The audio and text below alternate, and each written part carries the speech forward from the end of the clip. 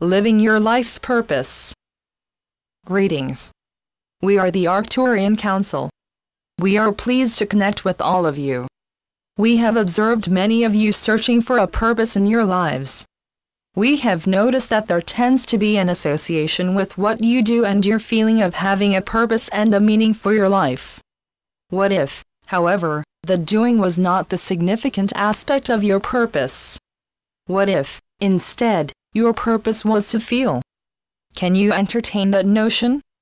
Can you believe that it is possible to incarnate for the purpose of feeling something you've never felt before? And if that makes some sense to you, then can you let yourselves off the hook for doing something important? As you feel into the magnificence of your existence, and as you feel into the significance of your shift in consciousness, it is easy then to understand why this whole idea of feeling something new and different could be considered a life's purpose. We want you to acknowledge yourselves, and we want you to enjoy yourselves. We want you to see yourselves as the main purpose of your lives.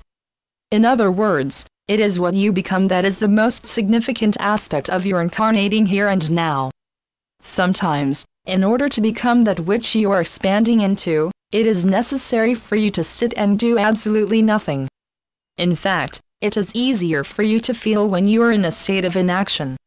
And that is in fact one of the reasons why some of you are always so busy. If you're not busy doing, you're busy thinking. And the doing and the thinking are what you use to avoid the feeling. Some of you are even avoiding feeling the higher frequency states because you are afraid that you will come crashing down. And we have seen this as well. We know that it exists as a possibility. But by giving yourself that opportunity to feel something, you do access more of who you are.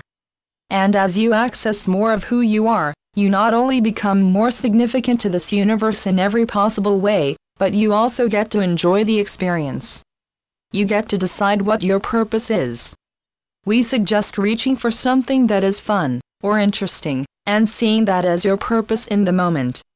And then we suggest giving yourself a new purpose in the next moment, and in the next, and the next. Being purposeful about your life does not mean that you must do something over and over and over again until you get acknowledged for it. Just be yourselves, and let life come to you and as you experience life in that way, you are living your purpose. We are the Arcturian Council, and we have enjoyed connecting with you. Channeled by Daniel Scranton. DanielScranton.com